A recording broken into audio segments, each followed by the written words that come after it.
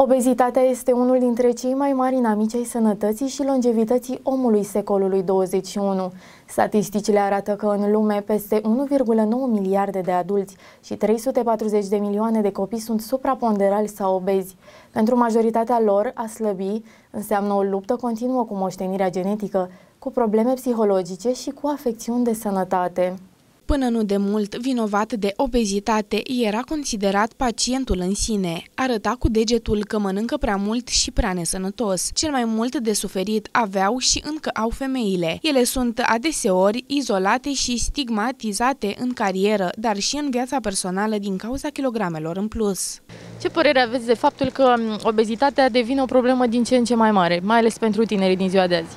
Da, ce să vă spun, e în funcție de ceea ce mănânci, dacă și eu vă spun, și eu am avut uh, 87 de kilograme, dar acum dacă sunt uh, bolnav cu un rinic, uh, bolnav cronic, am slăbit, am 72 de kg, mai mult de atât, mai puțin de atât. Ce părere să am?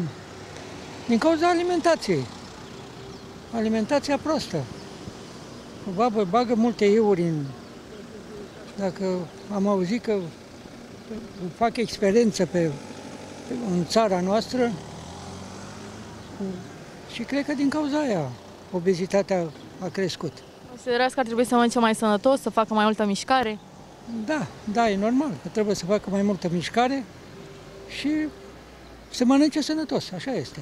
Studiile ultimelor decenii arată însă din ce în ce mai concludent că obezitatea are cauze complexe. De altfel, este considerată o boală cronică. Adeseori duce la afecțiuni grave, în special diabet de tip 2, sindrom de apnee, însomn, boli cardiovasculare, dar și cancere. Deși pericolele supraponderalității și obezității sunt cunoscute și mediate, cele două afecțiuni sunt în continuă creștere, inclusiv la copii și adolescenți.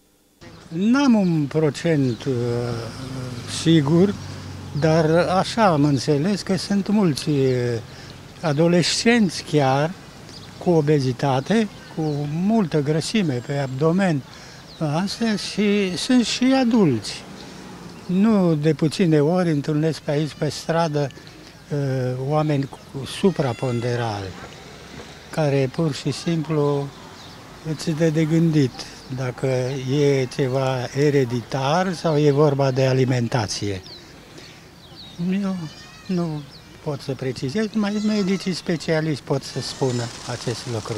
Un studiu efectuat recent a ajuns la concluzia alarmantă că în România copiii nu beau apă aproape deloc, consumă în schimb sucuri pline de zahăr care pot duce în timp la obezitate și la diabet. Pe lângă faptul că provoacă probleme dentare, sucurile nu dau sațietate, deoarece creierul nu le înregistrează ca pe ceva de mâncare.